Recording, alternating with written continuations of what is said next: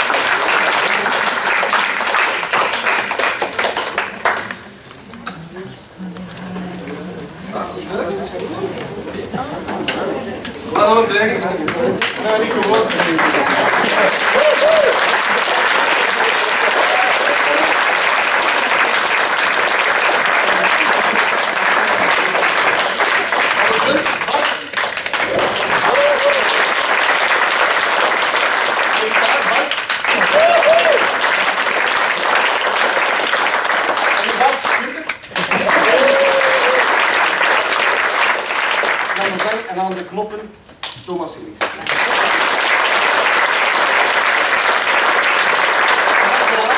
Ook twee mensen, Nicola en Jo. Uh, eh, Nicola en Jo, nu mensen